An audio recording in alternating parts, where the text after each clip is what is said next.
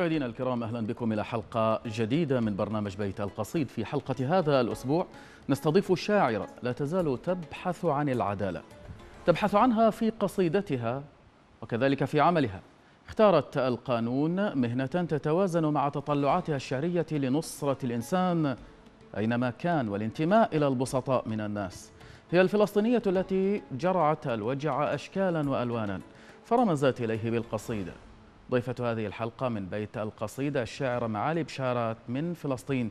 أهلا وسهلا بك حللت أهلا ونزلت سهلا على بيت القصيدة أستاذة معالي. أهلا بك أستاذ مطر. يعني في البداية وقبل الذهاب إلى القصائد التي ستكون معجونة بتراب فلسطين بزعفران القدس بزعتر جبل المكبر وغيرها من المناطق العالية نابلس جبل النار جنين الكبيرة بأهلها. قبل كل هذه الملامح الفلسطينية الكبيرة نريد منك أن تحدثينا عن نفسك قليلا بحدود ما تحبين للجمهور الكريم أن يعرف. تفضلي. نعم.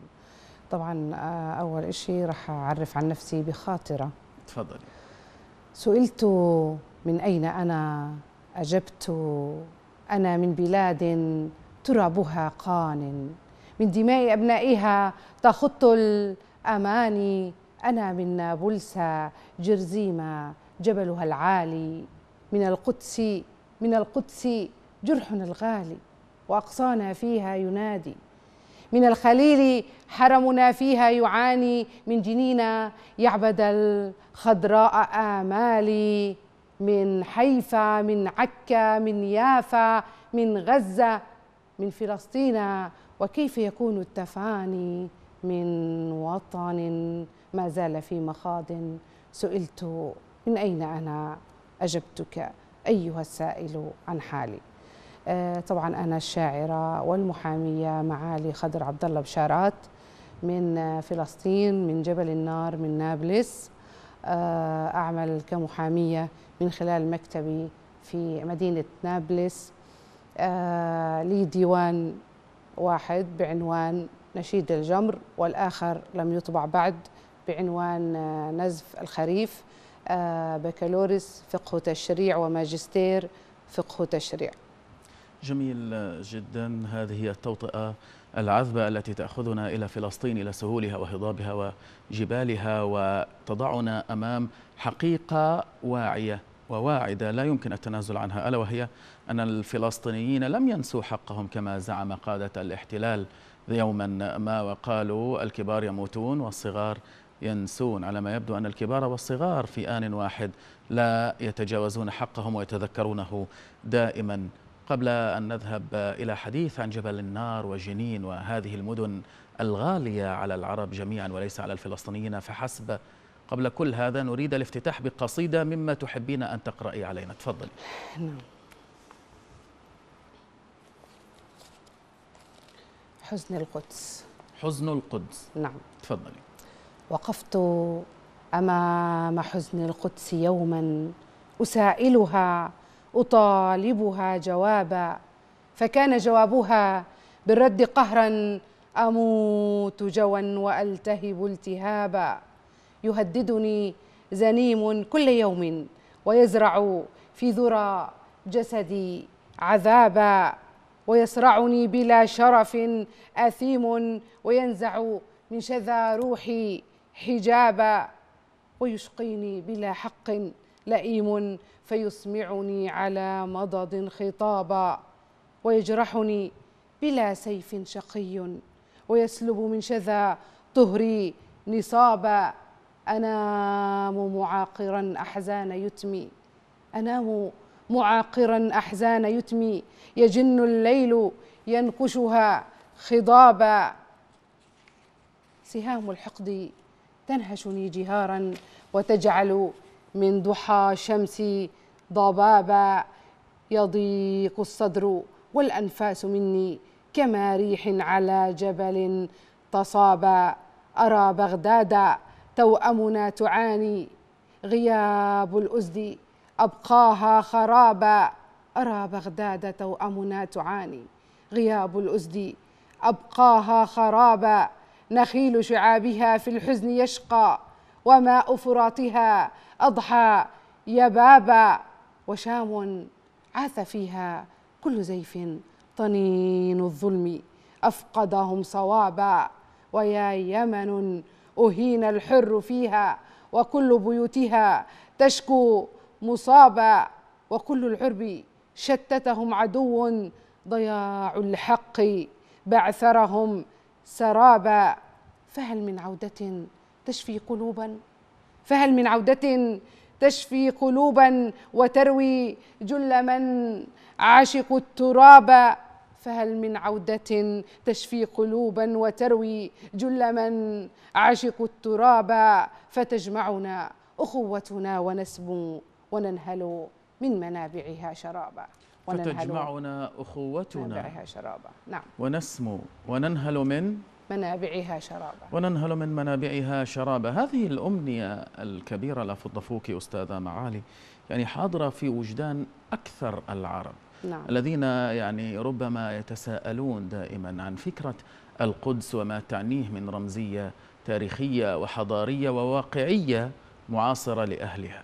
يعني ربما أيضا بعض من يسكنون فلسطين خلينا نقيسها على أهل غزة لا يعرفون تفاصيل معينة عن مدينة القدس.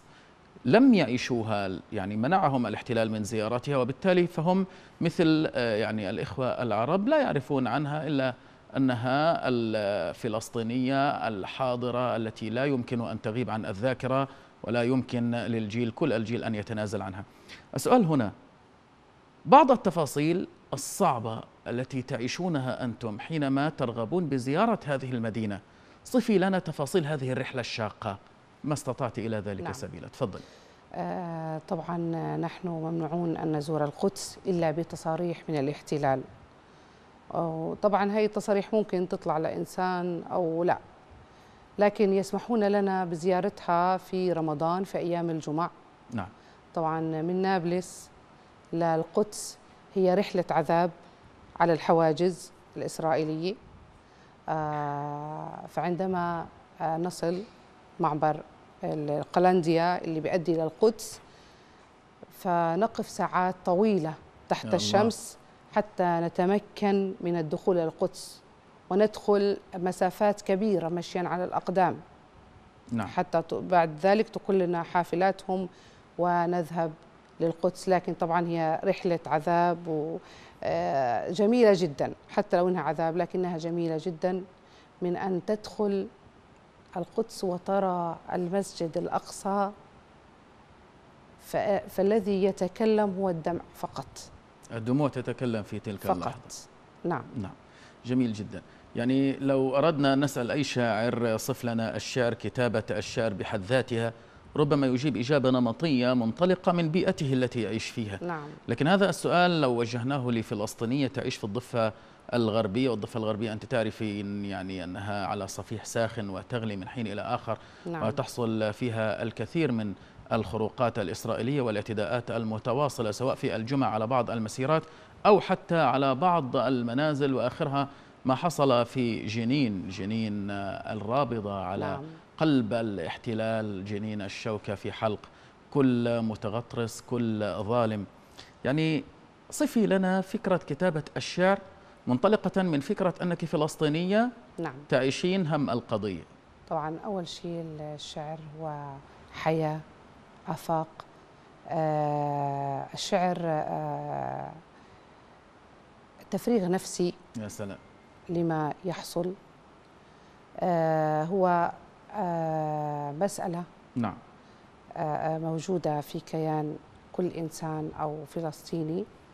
آه بالنسبة لي كشاعرة فلسطينية عندما أرى آه دائما اعتداءات المستوطنين القتل السلب التشريد لأبناء شعبنا هدم البيوت فهذا يعطيني إلهام كبير لأن نعم. أبدأ بكتابة القصيدة. شيء آخر قبل ما نعود لقصيدة جديدة. آه، قد يتساءل بعضهم عن سر هذا الثوب الذي تظهرين به معنا في هذه الحلقة من بيت القصيد. حدثينا عن الأثواب التراثية الفلسطينية وعما إذا كان هذا الثوب يعود إلى مدينة معينة.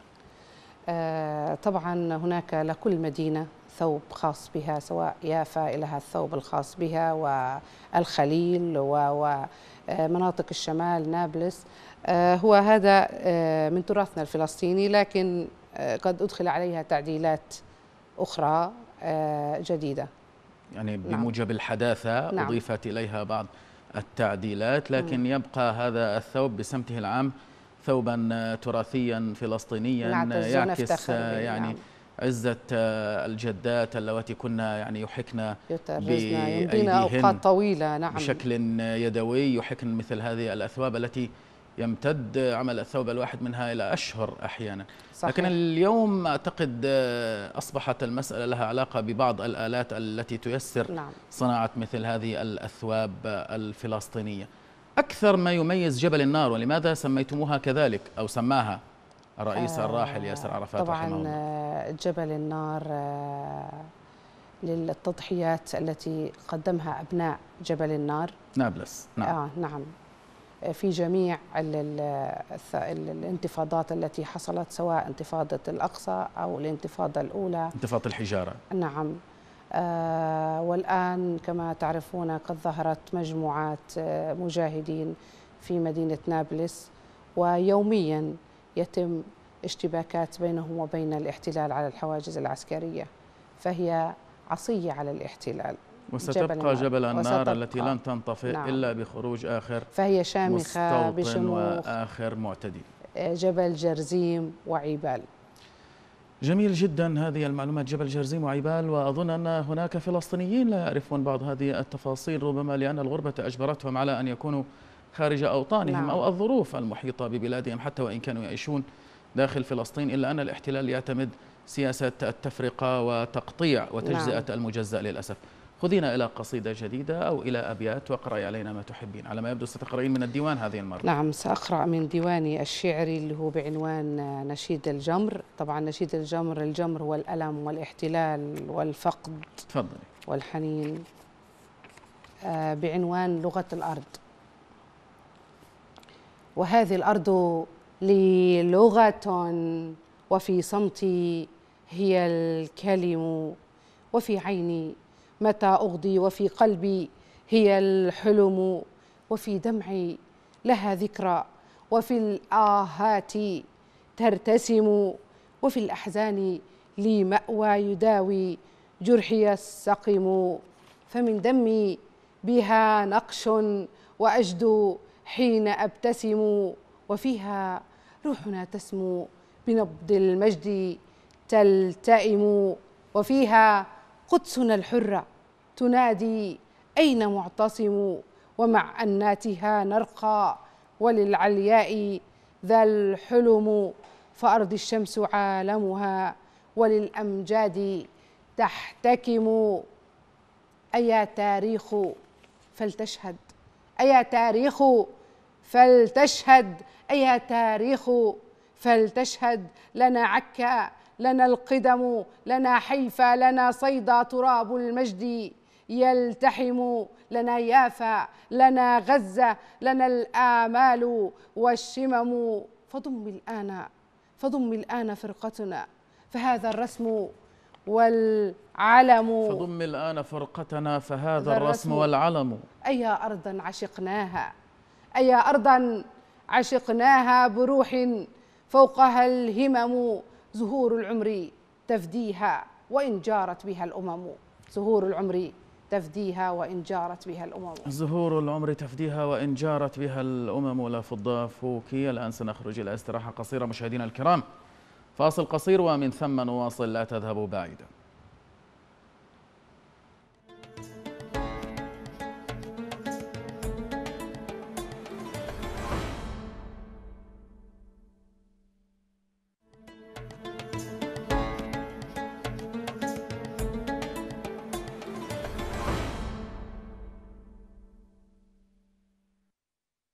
أهلا بكم أعزائنا المشاهدين الكرام أينما كنتم نحييكم من جديد ضيفة هذا العدد من بيت القصيد معنا هنا في الأستوديو الشاعرة معالي بشارات من فلسطين. مجددا نرحب بك سيدة معالي.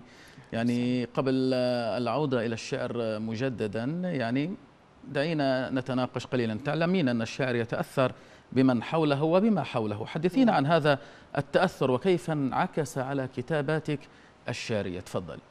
طبعا آه، أنا أم ويوجد لدي مشاعر مختلطة ومحامية آه، لمهمات وعمل وفلسطينية نعم. تخرج كل يوم من بيتها وتعاني ما تعاني على الحواجز آه، فكل هذه الأمور كونت صورة في قلبي عندما أقعد أو أجلس في خلوتي أبدأ بكتابتها وتظهر كقصيدة.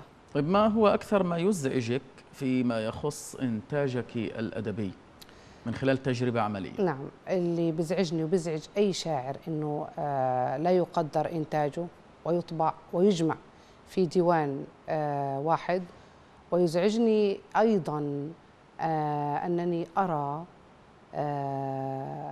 أنه يقدر الكاتب المترحل البسيط أو آه الشاعر وهو ليس بشاعر. فهذا يزعجني ويزعج الشاعر هذا يحصل في أكثر من بلد نعم. للأسف. صحيح. لكن ما يعزي الشاعر أن قصيدته تصل. الصادقة نعم. لابد أنها ستجد مريديها ومحبيها ومن يؤمنون بمضمونها ومحتواها وفحوها خذينا إلى نص جديد. تفضلي أستاذة معالي. نحن جاهزون لنستمع إلى قصيدتك التالية. إباء أسير ماذا أقول لدمعة خبأتها وتناثرت في أول الأبيات؟ ماذا أقول لدمعة خبأتها وتناثرت في أول الأبيات؟ ماذا أقول للوعة تجتاحني والحبر يرجف في يد الصفحات. يا أيها القيد اللعين فإنني نسر يحلق في سما الفلوات. مهما فتكت بنا مهما فتكت بنا ستبقى روحنا فوق الغيوم تطوق الآهات. أنا قد رويت المجد في عمق السنة فالعز مزروع يعانق ذاتي. يا حرف يا حرف سطر بالإباء شموخنا. واقذف لهيبك في قلوب غزاتي. يا حرف سطر بالإباء شموخنا. واقذف. لهيبك في قلوب غزاتي. وارفع كراما بعد ذل قاهر. واحفظ ديارا سيجت بثباتي. ماذا أقول لدمعة خبأتها وتناثرت في أول الأبيات؟ ماذا أقول لدمعة خبأتها وتناثرت في أول الأبيات؟ أقول لها أنني سأواصل القراءة إلى نعم. قصيدة جديدة. تفضلي. آه طبعا بما أني محامية أكيد هذا راح يأثر علي وأكتب. من هنا من إسطنبول من إذاعة الرافدين أقول سيد القاضي لا لست متعبة أنا يا سيدي بل متعبة.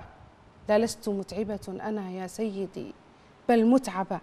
فأنا التي من طيبها أطعمت ساعة مسغبة وأنا التي ترنو لها كل القوافي الطيبة. يا سيدي فأنا العدالة للعدالة مقربة. وشهدت لي كم مرة لي رؤية متوثبة. فأنا قضاء واقف لظلمها كم مرعبة في وقفتي كم هيبة صلت صلاة واجبة. لا لست متعبة أنا يا سيدي بل متعبة. ربما يغضب عليك بعض النحويين ويقولون لماذا رفعت متعبة؟ وهي حقها النصب لكن ربما لأن التعب يرفع صاحبه نعم. ويعلي من درجاته. دائما الشعراء يعني يجوزون ما لا يجوز.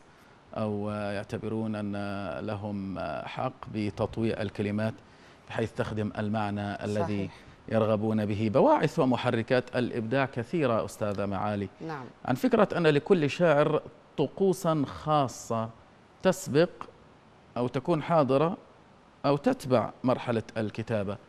لابد أن تكون حاضرة. نعم. آه طبعا قهوتي وخلوتي وشرفتي المطلة على الجمال الطبيعي. آه، غروب الشمس والبحر أثناء مسارعته للأمواج. فهذه هي طقوسي الخاصة في الكتابة. جميل لكنها ليست طقوسا آه، إجبارية. يعني صحيح. القصيدة إذا ما فرضت نفسها نعم. فإنها تتسيد حتى شاعرها.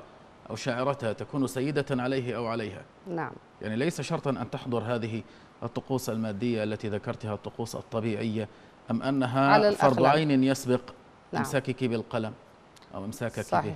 صحيح. آه هذه الطقوس طبعا حسين آه أستاذ مطر أنت حكيت أنه القصيدة عندما تأتي يعني تفرض نفسها. تفرض نفسها ما بتقدر إنك تجمع كل هذه الطقوس. لكن هي فعلا هذه الطقوس الخاصة في كتابة لكن قد يقول قائل أنت ومن فلسطين من الضفة التي هي على صفيح ساخن الظروف الصعبة العدوان المتواصل وتصنعون مثل هذه الطقوس أيضا لماذا؟ نحن نحب الفرح والسعادة ورغم كل شيء فنحن نصنع السعادة إذا أنت تتمثلين قول درويش ونحن نحب الحياة إذا ما استطعنا نعم. إليها سبيلا. نعم. وصح هذا قوله هذا قوله صح. نعم. وصدق إن قال وإذ قال ذلك. هناك شعراء والآن أريد إجابة صريحة. يقولون إن الشعر الفلسطيني أغلق بابه محمود درويش. ما رأيك بمثل هذا القول؟ آه طبعا عندنا شعراء فلسطينيون آه قد واكبوا القضية الفلسطينية. آه غير محمود درويش. يعني آه قبله وبعده قبله وبعده أنا لا أوافقكم في هذا القول. حتى في مرحلة درويش نعم. كان هناك شعراء كبار صحيح صحيح. مثل سميح القاسم نعم. وغيره. أيضا آه، برأوا بكتابة القضية يعني الفلسطينية شعرا. نعم في منهم مظلومين أو هم ظالمين أنفسهم يعني ما, ما خرجوا للعالم. فهمت كيف نعم. سواء عن طريق التواصل الاجتماعي أو عن طريق المشاركات في المهرجانات نعم. وغيرها لبيان معاناة الشعب الفلسطيني ما الذي تتطلعين إلى تحقيقه من وراء كتابة شعر القضية؟ آه، أول بداية آه، توصيل معاناة شعبي للعالم العربي والعالمي والإسلامي آه، ثانيا أتطلع لأن أكون ملكة الشعر العربي والإسلامي وإلى العالمية إن شاء الله. إن شاء الله. خذينا إلى أبيات جديدة أو قصيدة. اقرأي علينا ما تحبين. تفضلي. نعم. اصرخي يا بندقية. اصرخي يا ثورة الأرض الأبية. فجري كل حروف الأبجدية. انفضي عنك غبار الذل هيا. أوقدي كل أمانين الندية. قبلي ثغر المنايا في صهيل يعتلي أدراج مجد أبدية. اسرجي أحلام خيل تتلظى واسحبي غمد جروح للقضية.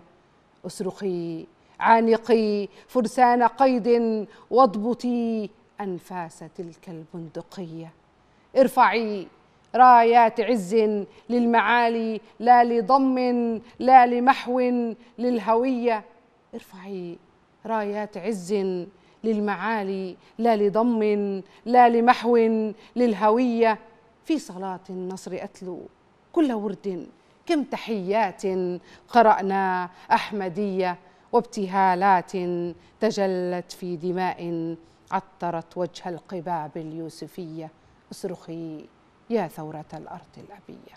فضفوك أستاذة ورد في هذه الأبيات مصطلح الضم نعم. فقط توضيح للمشاهدين الكرام أن قانون الضم هو قانون إسرائيلي يسعى من خلاله لضم أراضي تابعة للشعب الفلسطيني أو لسلطة الحكم الذاتي السلطة الوطنية الفلسطينية يسعون إلى ضمها بقوة السلاح والاقتدار والاستيلاء لكن هذا الضم ليس شرعيا ولا تجيزه لا الأمم المتحدة ولا مجلس الأمن وكذلك يرفضه الشعب الفلسطيني. كل الشعب الفلسطيني بما فيه الشاعرة معالي بشارات القادمة نعم. من فلسطين المحتلة حتى تشرفنا بهذه الحلقة من بيت القصيد. وقلت لا لضم لا لمحو. ما الذي عنيته بمفردة المحو؟ هل هو محو التاريخ أم محو آخر؟ طبعا الآن كما نعلم بأن الاحتلال يسعى آه، لمحو التراث الفلسطيني نعم, نعم. ونسبه نعم. لنفسه حتى أن وزيرة الثقافة الإسرائيلية في دورة نعم. ما من دورات حكومات الاحتلال الإسرائيلي خرجت بثوب يشبه نعم. هذا الثوب الذي صحيح. ترتدينه أنت وزعمت أنه تراث إسرائيلي صحيح وهذا محض نعم. كذب وافتراء نعم الآن سنخرج إلى استراحة قصيرة مرة أخرى بعده نواصل مشاهدينا الكرام. إذا نخرج إلى فاصل قصير الآن ومن ثم نواصل ما تبقى من حلقتنا. فابقوا معنا.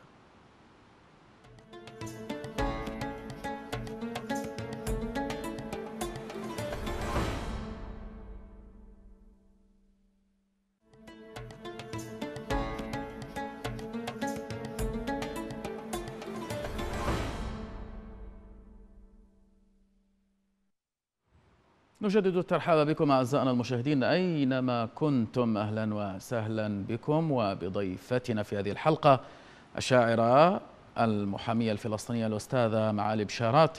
حيا الله بكم مجددا أستاذة معالي عن القصيدة الفلسطينية وحاضر المشهد الفلسطيني. هل القصيدة الفلسطينية باعتقادك الذاتي على مستوى الحدث اليومي الذي يعيشه شعبنا الفلسطيني؟ بكل نعم. صراحة. نعم. أرى أن القصيدة القصيدة الفلسطينية قد واكبت أو الشعر قد واكب آه، تطلعات نعم. القضية نعم. الفلسطينية هل هي قصيدة فدائية؟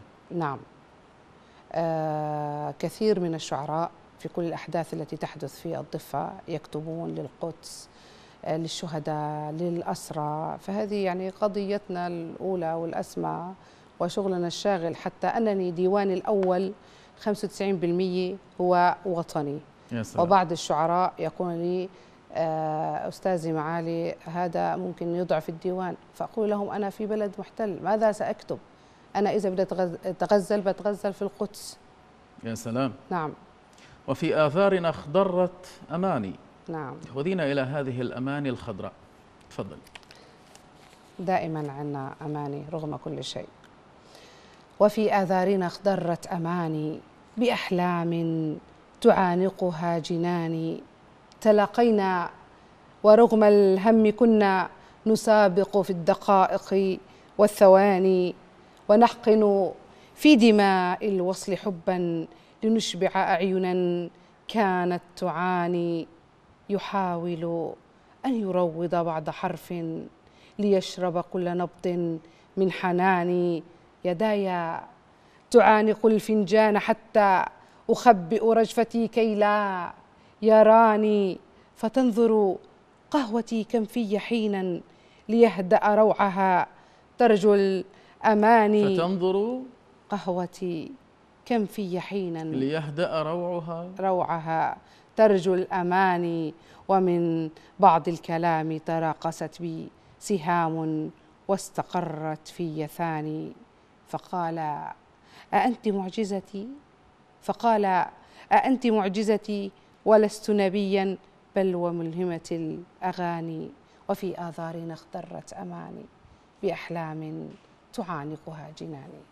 أحسنت يا أستاذة. آه الأبيات النونية البسيطة التي تحاكي طين الأرض ولا تنفصل عن وجع الإنسان نعم. وفطرته السليمة. قد تقودنا إلى سؤال مختلف هذه المرة. يعني كيف يمكن أن يكون دور الشاعر بناء في مشروع استعادة الحق وتحرير الإنسان الفلسطيني؟ طبعا الشاعر هو صوت الأمة ونبض ونبض الشعب وصورة للشعب. آه، ف من كتاباته نعم. تحفز الآخرين. الآخرين نعم. بالتحرر من الظلم واستعادة الحق أينما كان. قد يكون سببا لينتفض من حوله على الظلم والظالمين. نعم, نعم. فيسعون إلى الانتصار لقضيتهم. وبالتالي فإن صوت الشاعر قد يكون يعني عامل نضال. كالرصاصة. كالرصاصة. نعم. القصيدة كالرصاصة. والكلمة. أنت ترينها كذلك. هي كالرصاصة من قائلها أم ممكن أن تكون رصاصة مرتدة عليه كذلك؟ صحيح. كيف يمكن أن يكون ذلك باعتقادك تكون الشخصي؟ تكون رصاصة آه، عندما آه، تنمي الوطنية في داخل الجيل الجديد وتكون مرتدة عليه آه، طبعا من جهات ممكن جهات مثلا نحن إذا انفصل عن قضيته نعم إذا انفصل عن قضيته أحسنت كثيرا. خذينا إلى أبيات جديدة. تفضلي. على الصدمات قلبي قد تربى. على الصدمات قلبي قد تربى فأشرب من شفاه الصبر صبرا وأمسح ثوب أحزاني وأمشي ليورق في ضفاف العمر. عمرا نظيف من ضغائنكم عفيف ليمطر كل غيم العسر. يسرى نزيف قصائدي يغتال بوحي. نزيف قصائدي يغتال بوحي. يصب الشعر يسكر في سترا أفرغ في الغروب جمال بحري تئن ربابتي تزدان سحرا وناي وناي وناي يعشق الموزون دوما ويبني من زوايا اللحن قصرا. أجفف حبر أشواقي بملح أجفف حبر أشواقي بملح لكي لا لا تثور علي فجرا لكي لا لا تثور علي فجرا. لكي لا لا تثور علي فجرا, فجرا. نعم. لعلها تحمل لك الفجر المقصود والمنشود من وراء مثل هذه الأبيات. أستاذة معالي حبذا لو تحدثينا الآن عن القصيدة الوطنية وأثرها في نفوس الجيل. يعني مدى أهمية القصيدة الفلسطينية إذا ما كتبها شاعر فلسطيني أو شاعرة مدى أهميتها من أجل تنشئة نعم. الشباب في فلسطين على التشبث بهذا الحق وعدم التفريط به؟ تمام. طبعا القصيدة الفلسطينية آه، تأثيرها في الجيل الجديد ترسخ القيم في هذا الجيل آه، وتعطيه التثبت أو التشبث بأرضه آه، و تذكره أنه صاحب حق وتاريخ. نعم يذكره بأنه صاحب حق وتاريخ ويبقى القول المأثور اللي هو ما ليس منا وليس فينا من يفرط بذرة من تراب القدس والقول المأثور الآخر يمكن أنت بداية آه، قلت آه، أستاذ مطر أنه الكبار يموتون لكن الصغار في فلسطين يحملون الراية لينيروا طريق العودة آه، بكل ما أوتوا من قوة. جميل جميل جدا. يا سلام. طيب قبل ما ننتقل إلى سؤال جديد نريد أن نذهب إلى قصيدة مختلفة هذه نعم. المرة. عما سبق تفضلي اقرأي ما بين يديك. لن نلتقي لكننا لم نفترق. لن نلتقي لكننا لم نفترق. كل الليالي وجنتيها تحترق. لن نلتقي لكننا لم نفترق. لن نلتقي لكن قلبي لم يزل متفيئ في ظل حرفك يأتلق عودت نفسي كلما دق الحنين ببابها أن تخفق الحرف الألق. لن نلتقي لكننا لم نفترق. لن نلتقي لكن كوثر بوحك يروي شغاف القلب. آه كم عشق كم مرة عانقت حرفك؟ كي أشم من القوافي صمت قربك قد نطق. كم مرة عانقت حرفك كي أشم من القوافي صمت قربك قد نطق. هيا تعالي. قلتها هيا تعالي قاسميني كبريائي لا أطق. ها قد طويت الصمت والعند المقت. لن نلتقي. لكننا لم نفترق لن نلتقي لكننا لم نفترق. على ما يبدو أن وراء هذه القصيدة حكاية لا أعلم إن كان هناك مجال لكشف بعض تفاصيل هذه الفكرة. لم نلتقي لكننا لم نفترق. طبعا المعنى يبقى في بطن الشاعر. يقولون هذا القول حتى يهربوا لا بأس بهذا المهرب. قبلناه منك أستاذة معالي. حدثينا عما تنتظرينه من الشعر بشكل شخصي وما تتطلعين إلى تحقيقه حتى يكون لك مستقبلا تجربتك الخاصة. تمام. طبعا آه، الشعر هو إنتاج معرفي أو نتاج معرفي وفكري وقلبي وإنساني. وإنساني. فأنا كأي شاعر آه، أريد أن يكون اسمي خفاقا في المجال الشعري في العالم ككل. وأن أكون حاملة لراية الشعر خصوصا آه الذي يحاكي القضية الفلسطينية نعم. وقضايا الوطن العربي آه المتشردين والمهجرين. نعم.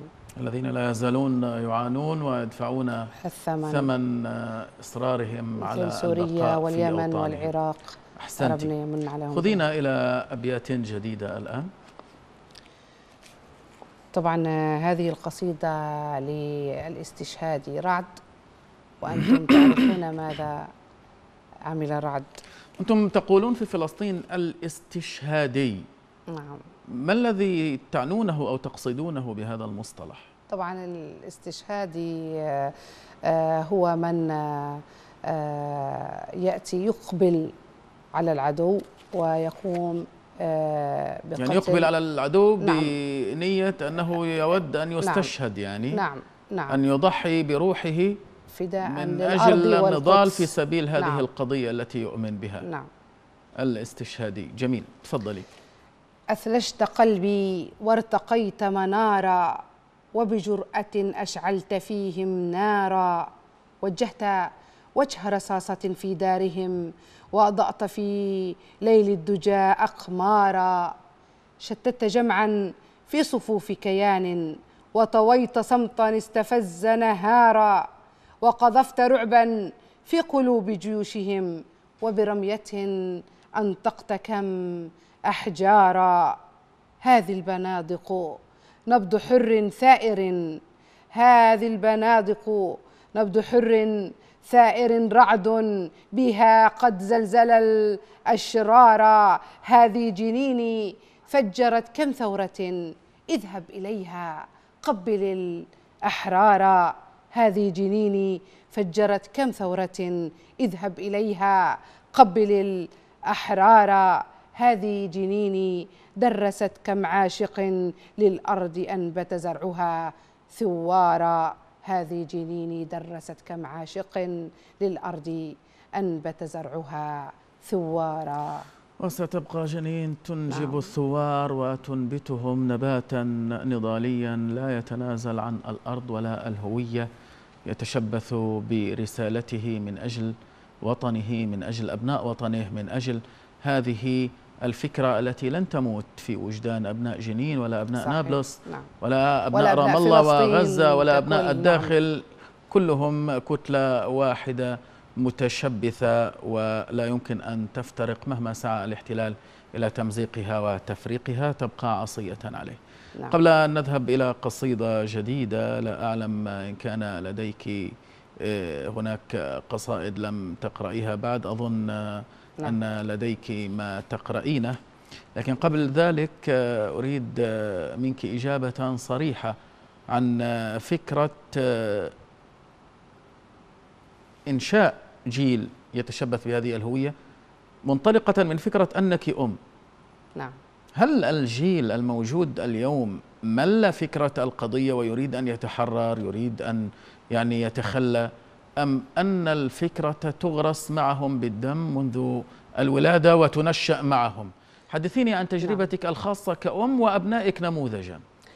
طبعا لا أبدا. هذه الفكرة ما زالت متجذرة. فأبنائنا يرضعون حب الوطن وحب فلسطين وحب القدس والنضال منذ نعومة يعني آه، أظفارهم. نعم.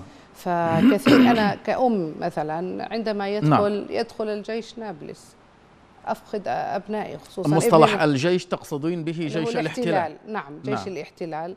ف يعني وين أنا ابني الحارث؟ آه الله يحفظه يا رب. وين الحارث؟ نعم. فالحارث وين بيكون؟ بيكون يستقبل الجيش طبعا يستقبله بالحجارة. وكذلك أبناء فلسطين ككل. وكل فلسطيني. وسيبقى هم يراهنون على هذا الجيل لكن أكثر الشهداء والاستشهاديين هم من الجيل 17 18 19 سنة هل هذا يعني أنك أنت كأم فلسطينية تريدين أن تقولي إننا صباح مساء يعني قد نكون موعودين بسماع أخبار نعم. آه قد تكون يعني آه قد معززة لفكرة نعم. ثباتنا على مبدأ قضيتنا وإثباتنا نعم. أننا أصحاب حق إلا أننا كبشر قد نتعرض إلى وجع فقدان بعض صحيح. أحبابنا صحيح أنا كأم فلسطينية لست يعني يعني ككل نساء مثل كل نساء فلسطين آه، نمسي ونصبح ونحن ننتظر آه، خبر ممكن ابنك استشهد أخوك استشهد أبوك نعم. استشهد نعم. فهذا قدرنا في هذه الأرض. يقولون إن الأمة الفلسطينية آه، مكابرة. نعم. وربما أحيانا تكون متصنعة. هناك من يتهمها بالتصنع أي أنها تظهر متصاخرة أو امرأة صخرية أمام الكاميرات أمام بعض المعزين إذا ما جاءوا حتى يواسوها بابنها الاستشهادي أو الشهيد سواء آه، يعني آه، ذهب ليثأر من الاحتلال أو مثلا آه، في عدوان معين ارتقى شهيدا. هل فعلا الأم الفلسطينية تتصنع هذا الثبات أم أنه متوارث وهو في الجينات؟ قولي ما تحبين وبكل صراحة. آه هي الأم الفلسطينية ليست متصنعة. كل أم طبعا تحب ابنها. يعني ما في أم. وتحزن على نعم، فراقه. وتحزن على فراقه. حتى آه، عندما تجلس لوحدها أكيد يعني راح يكون هناك ألم. كبير لكنها لكننا سواء النساء أو هذا الجيل نؤمن بأنها آه، أن فلسطين لا تحرر إلا بالقوة. لذلك كل أولادنا حتى ابني يعني بحكي لي يا أمي إذا استشهدت بحكي لي إذا استشهد ما تزعلي علي. بدك ترفعي راسك. بحكي لي بدك ترفعي راسك. أنا راح أخذك للجنة. يعني كل ام فلسطينية كل ابنها بحكي لها نفس هذا الشيء فهي وفاء لابنها وهي على يقين إنه ابنها على حق واستشهد دفاعا عن القدس وعن الأقصى وعن فلسطين اللي هي شرف الأمة. لذلك هذا الذي يثبتها حتى نعم. تظهر شامخة. نعم. وكمان رب العالمين بيعطيها الصبر. يا سلام. نعم. خذينا إلى قصيدة جديدة. تفضلي.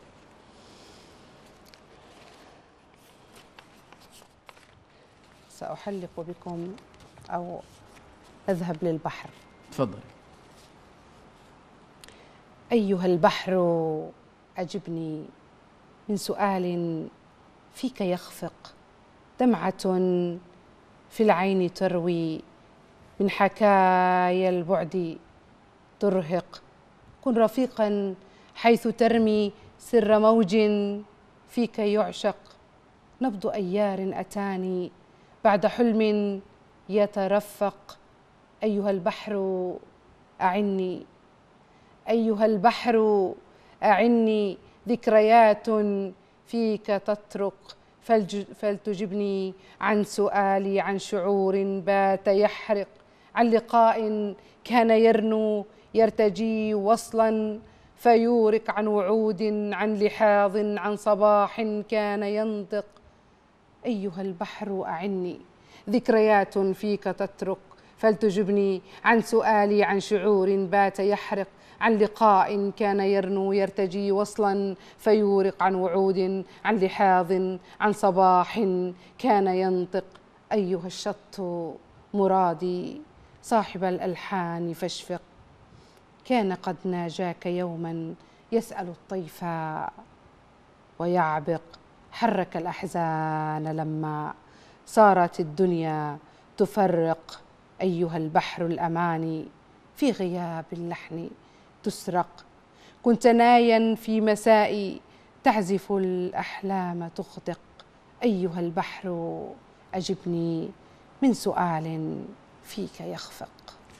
ربما هذا السؤال الذي يواصل خفقانه يدفعنا إلى منحك مزيدا من الوقت وقصيدة ختامية وحبذا لو كانت قصيرة.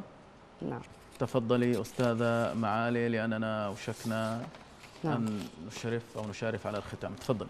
وأنهل من قوافيه لأشفى فقد تعب الحنين وزاد نزفا ومن بين الحروف أحس نبضا يهامسني يمد إلي كفا وتسبقني الدموع وزفرة لي فتعصف بي رياح الشوق عصفا تحلق ذكريات في خيالي فيعزف ناي أحزاني مقفى أنام مبكرا على الليالي. تعود بفجرنا المنشود أصفى. أنام مبكرا على الليالي. تعود بفجرنا المنشود أصفى. على الليالي تعود بفجرك المنشود أصفى. وعلى هذا الدعاء وهذه التمنيات الندية المعجونة بطين فلسطين الطاهرة علها تتحقق. وما ذلك على الله بعزيز. في الختام رسالة إلى فلسطين والكل الفلسطيني من روح شاعرة تعايش الألم وتأكل مع أبناء شعبها. خبز الوجع ماذا تحبين أن تقولي؟ آه راح أقول بأبيات آه شعرية آه بعنوان نشيد الجمر. تفضل كتبت الجمر أغنية لأعزف كل ألحاني فصاح الجمر من حرق جفا في الصدر أرداني فمن بلد إلى بلد أرتل حرفي العاني ومن ليل إلى ليل أسجل صمت أوطاني فإن باعوك يا وطني نشيدي فيك عنواني. وإن تاه النوى يوما غدوت أسير شطآني. صراخ القدس يؤلمني صراخ القدس يؤلمني. نحيب الشام أشجاني. عراق القلب قد نهبت وتسبى من أسى الجاني. ويمن السعدي في ألم يحرقها بنيران حياتي فيك يا بلدي وكم صرخت بأزماني فلا تحزن أيا أقصى ستسرج خيل ميداني سيأتي فجر أغنية يغني فيك ديواني. سيأتي فجر أغنية يغني فيك ديواني. أحسنت بهذه القفلة أستاذة معالي. وصلنا إلى الختام. في الختام ماذا تودين أن تقولي؟ آه طبعا أنا بتشكر جدا إذاعة الرافدين وكل العاملين فيها ولك أستاذ آه مطر وللعراق الحبيب ألف تحية. شكرا جزيلا لك مشاهدينا الكرام. وصلنا وإياكم إلى ختام هذه الحلقة في الأسبوع المقبل بحول الله وقوته. يتجدد لقاؤنا وإياكم رفقة شاعر جديد. وحتى ذلك الحين لكم مني أطيب التمنيات وأسماها دائما وأبدا. كونوا في شعر وسلام. وحرية. إلى اللقاء.